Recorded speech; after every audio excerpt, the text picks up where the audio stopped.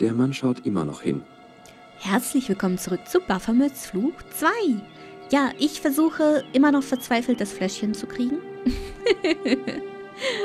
Der Mann schaut immer noch hin. Ja, er schaut immer noch Der hin. Mann schaut immer noch hin. Immer noch. ja, ich habe keinen blassen Schimmer. Ich versuche wieder zu reden. Keine Ahnung. Funktioniert das mal? Ich will das vielleicht, wenn er jetzt hier gleich eingießt, dass ich dann das mir schnappen kann irgendwie. Wieso geht er wieder weg? Muss ich wieder warten, bis das wieder zurück... Ach, Mann. Warum machen die das so kompliziert? Oder ich übersehe irgendetwas. Oder vielleicht fixiere ich mich einfach nur auf das Fläschchen, was ich eigentlich überhaupt nicht brauche. Aber das würden die ja nicht so demonstrativ dahinstellen, ne? Oder? Oh, er gießt gleich. Der Ja. Mann schaut immer noch hin. Oh Mann. Der Mann schaut immer noch hin. Och Mann, tut mir das nicht an. Und er ist wieder weg. Ja gut, sprechen wir wieder ein bisschen. Fehlt Ihnen die Arbeit als Gendarm? Ah oui, natürlich. Tja. Und nun? Oh, Als ich noch eine Uniform trug, hatte man Respekt vor mir, aber nun nicht mehr. er hat die Augen zugemacht. Ja, ich hab's. Ich schnappe mir das Fläschchen und der starke Geruch von Absinth hüllt mich ein. Ein hochprozentiges und illegales alkoholisches Getränk. Cool. Noch irgendwas? Verzeihen Sie, Was? Was? haben Sie keinen Einspruch gegen Ihre Entlassung eingereicht? Das wäre zwecklos gewesen. Es stand mein Wort gegen das des Chefinspekteurs. Und der wiederum ist ein enger Freund des Direktors des Grünmuseums, in dem ich Patrouille gehen sollte. Oh, es tut mir so leid. Ich fühle mich etwas schuldig, irgendwie. okay, können wir noch irgendwie was sprechen? Verzeihen Sie, Was? Was? äh, was sagten Sie? Welches Museum sollten Sie bewachen? Hä? Das Grün. Und es war ja nicht so, als ob irgendetwas gestohlen worden wäre. Nur so ein rostiges, altes Dreibein. Das Dreibein, das ich ein paar Wochen später zurückgebracht habe. Tja. Mann, das tut mir so leid. Verzeihen Sie, Lassen Sie mich in Ruhe. Oh. Jetzt weiß ich ganz genau, wer das ist. Das ist dieser eine Sicherheitsmann, der keine Ahnung von Geschichte hatte. es ist so schön, um an so einem wunderbaren Sommertag im Café zu sitzen. Weil der war da, wo Lubino war, ne? In dem Museum, wo wir das Dreiband dann geklaut hatten. Ach Mann. Tja. Das war der Kollateralschaden, ne? Ich warte jetzt, bis noch äh, der Kellner wieder zurückkommt. Schade, dass die alte Kellnerin äh, nicht mehr da ist. Die hätte ich gern wieder gesehen. Aber gut, sprechen wir jetzt mit dem. Wünschen Sie sonst noch etwas? Ich habe ihm nichts mehr zu sagen. Tja. Wir haben nichts mehr zu sagen. Jetzt habe ich eine weitere Spur. Ich kann entweder die Galerie Glies besuchen oder zu Oubliers Haus zurückgehen. Ja, ich würde sagen, äh, die, ähm, dieses Gießding. Die Galerie Glies hat Ja. Stil und Klasse, aber nur wenige Kunden. Ja. Schauen wir uns Die erst mal Wüste. Zu wenig Gehalt für zu viel Geld, wenn man mich fragt. ja. Bei modernen Kunstwerken denke ich das auch. Die immer. Töpfe werden durch eine Glasvitrine geschützt. Mhm. Da haben wir noch ein paar Leute. Hi, Mädels. Ja. Hallo? Reagieren die nicht? Was ist das denn für eine Reaktion? Habe ich einen Witz verpasst?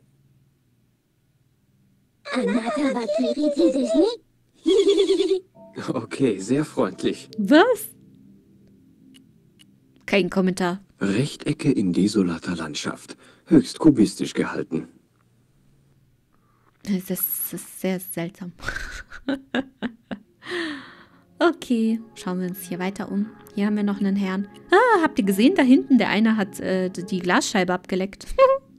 oh, seltsam. Das Glas ist halb voll Wein. Mhm. Können wir ihm was reinschütten? Das Fläschchen mit Absinth, das ich mir von dem Gendarm geliehen habe. Ich will es nur einmal austesten, ob das funktioniert. Ey, ich habe ihm da einfach was reingeschüttet hier. Nee, ne? Ich spritze ein bisschen Absinth in das Glas und hoffe nur, dass er die Veränderung der Farbe nicht bemerkt. Ich find's lustig. Oh, er wackelt. Haben Sie mir was in meinen Drink getan? Ähm, ja klar. Was halten Sie davon? Naja, ist jedenfalls besser als der Wein von Glies. Also eigentlich. Ich glaube, ich könnte mich daran gewöhnen. Ja, echt jetzt? Ja, vielleicht noch ein Schlückchen? Soll ich ihm noch was reinbacken, reinmachen? Aber erstmal reden. Sind Sie Mr. Glees, der Besitzer? Gütiger Himmel, nein. Dann nehme ich an, dass da drüben muss er sein, richtig? Ihre Fähigkeit zu deduktiver Logik versetzt mich in Erstaunen. Diese Ironie, diese Haben Sie Sarkasmus. schon mal von Professor Oubier gehört? Aber natürlich. Ich war vorhin in seinem Haus. Wenn Sie schon mit Namen angeben, dann wenigstens mit solchen, die es wert sind, ja? Ich dachte, Oubier wäre ein angesehener Mann. Also sein letztes Buch war nichts weiter als pseudo-intellektuelles Gequatsche. Das geistlose Gepöbel eines drogenabhängigen Ex-Wissenschaftlers. Oh. Was trinken Sie da? Ich bin mir nicht sicher, aber ich habe so den Verdacht, es ist eine Urinprobe. Glees kann doch nicht ernsthaft eine günstige Kritik für seine Galerie erwarten, wenn er so ein Gesöff ausschenkt. Tja. Würden Sie mir kurz Ihre professionelle Meinung über diesen Topf sagen?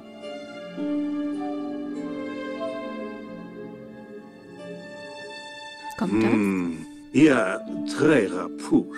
Rapouche? Scheußlich. Oh. Was? Hallo? Was zum Teufel machen Sie denn da? Der kann das doch nicht einfach runterschmeißen. Spinnt der? Hallo, das soll er mir Sie jetzt haben bezahlen. einen Topf zerschlagen. Natürlich.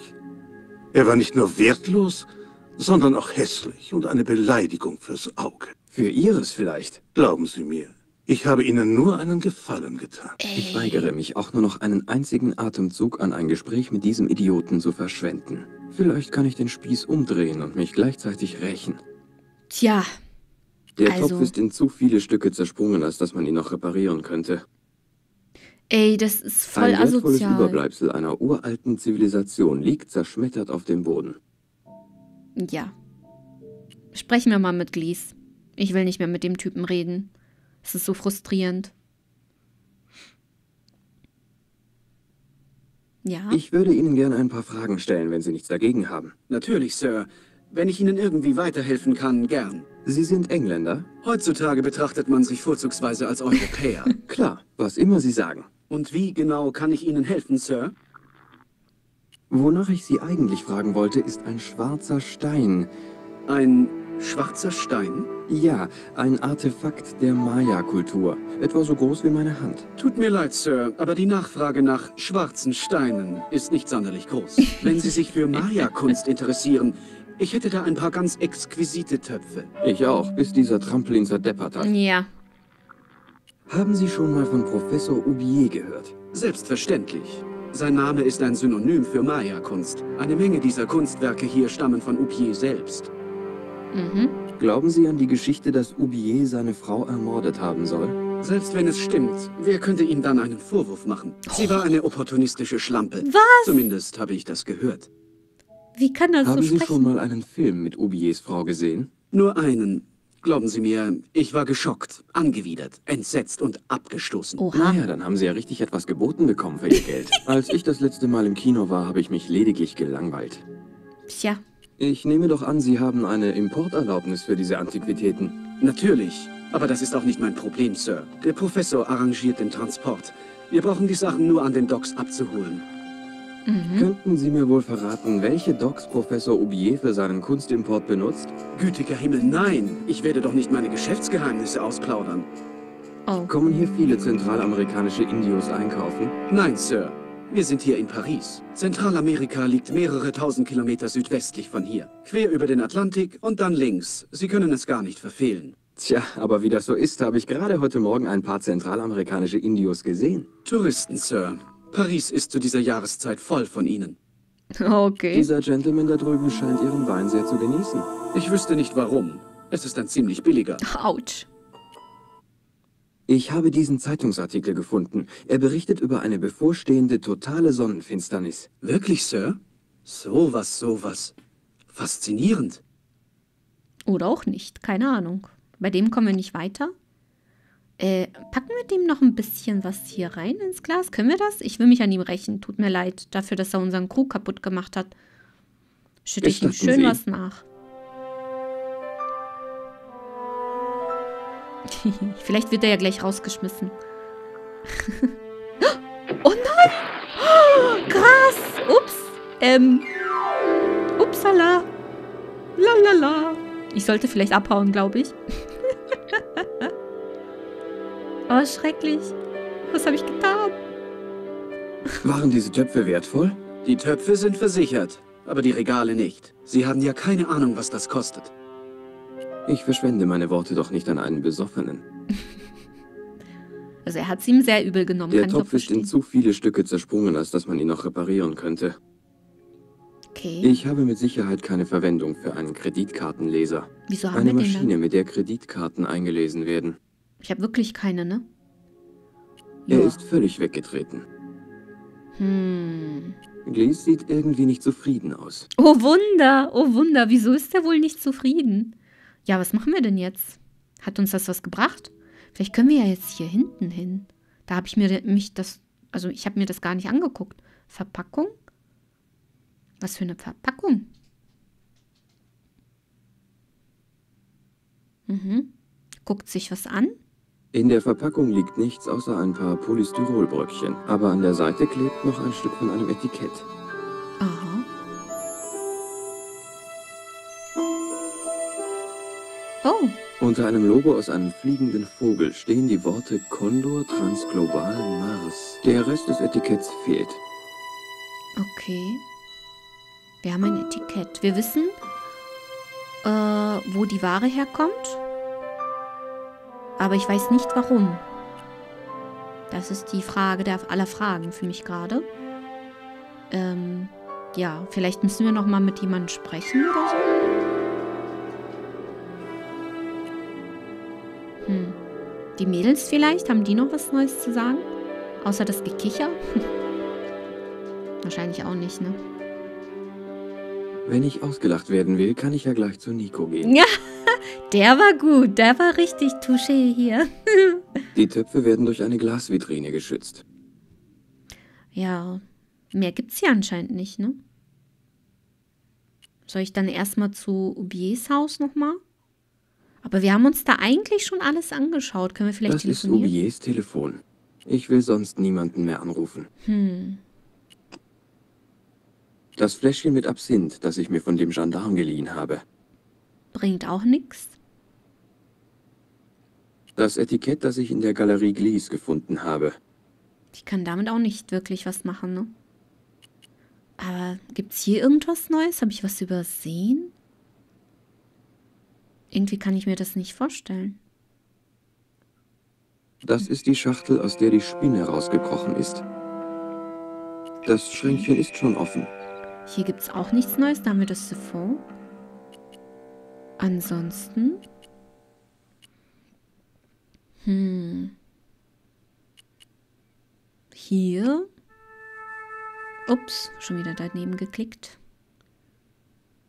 Gelbes, eitriges, diese Spinne. Ich wollte nur sicher gehen, dass wir nicht doch Das irgendwie... Foto ist für mich von keinerlei Nutzen. Okay, wir können das auch nicht irgendwie abmachen, irgendwas hinterm Foto versteckt oder so. Gibt's nicht. Nee, ich glaube, Leute, hier habe ich alles. Hm.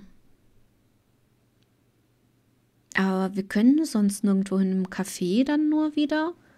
Aber Ich habe die Wahl, wohin ich gehen will. Ins Café in Mont. gehen wir mal ins Café.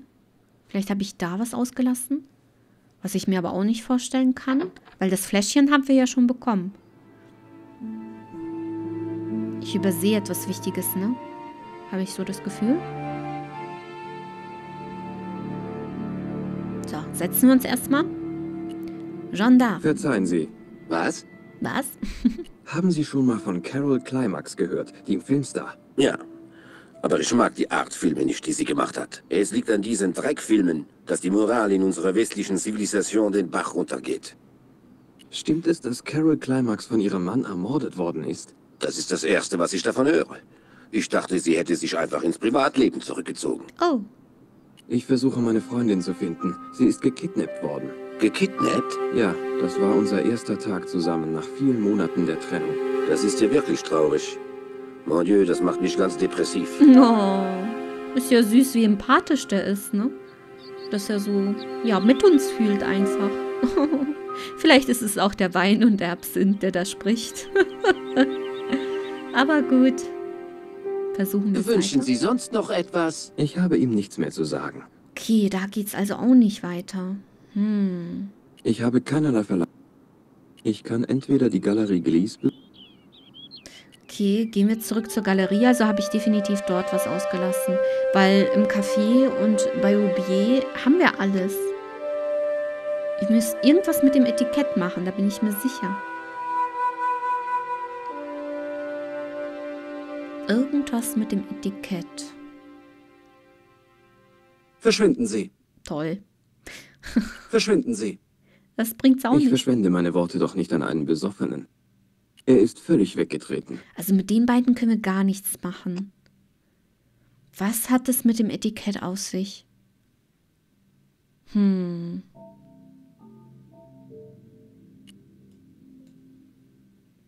Ich habe mit Sicherheit keine Ver... Dieses Kartenlesegerät macht mich auch ganz kirre. Hier ist nur die Verpackung, sonst nichts, ne? Hallo? Wo geht er hin? Schaut ihr das bitte nochmal an?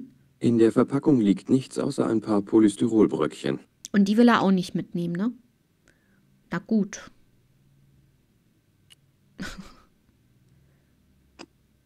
Ein Etikett mit dem Namen Condor Transglobal drauf. Na, Das bringt's nicht. auch nicht? Nein, falsch. Hm. Ich bin nicht überzeugt, dass wir das Richtige tun.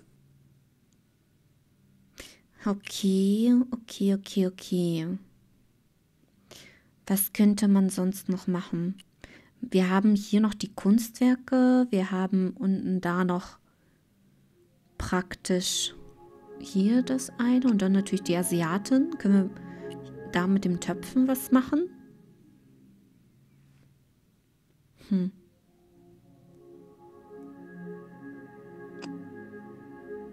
Okay. Auch nicht.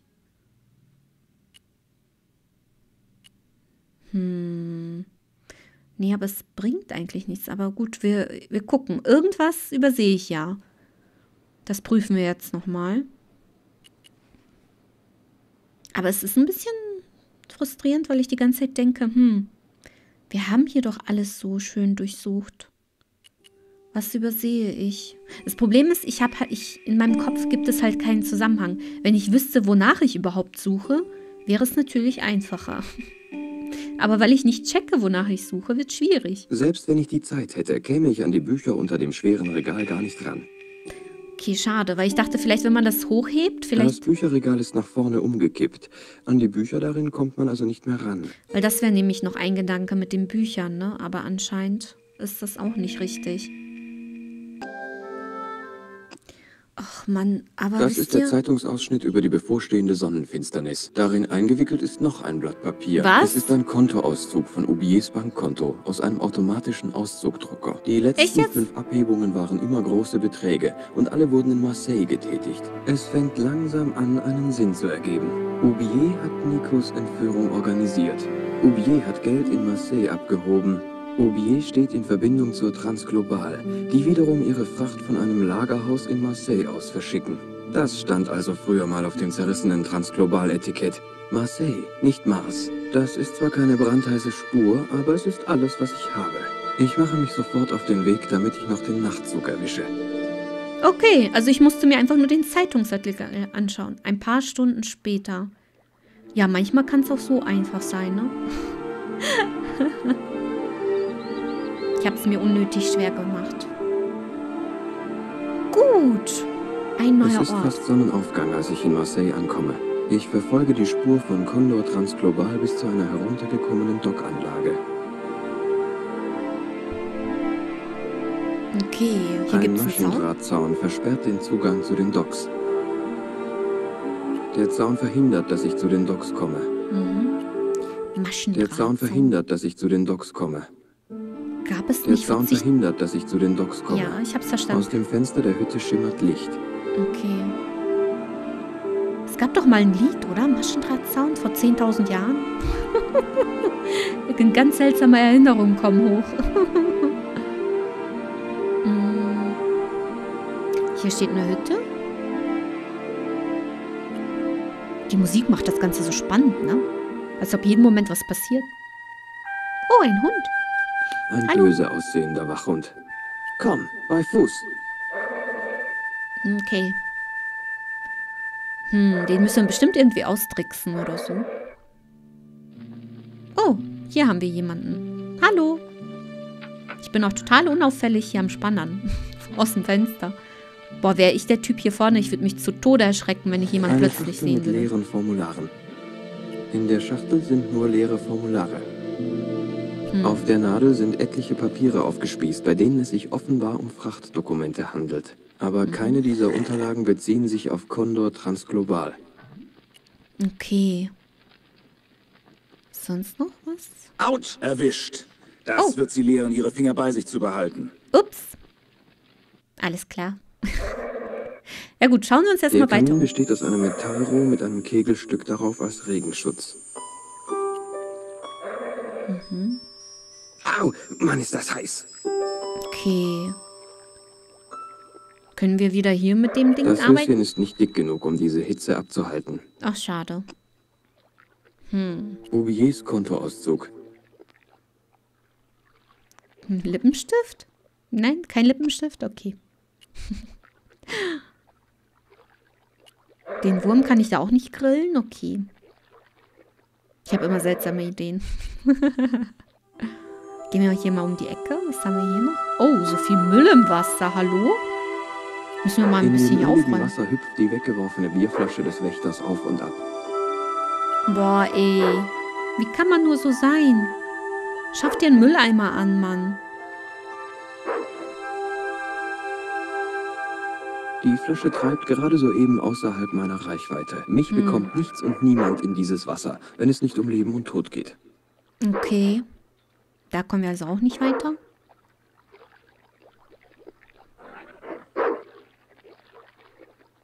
Was ist das? Der Stab hat einen Haken an einem Ende. Ich nehme an, es ist ein Bootshaken. Hm, cool. Können wir damit dann das rausholen? Bestimmt, ne? Die Flasche. Wozu auch immer wir die Flasche brauchen.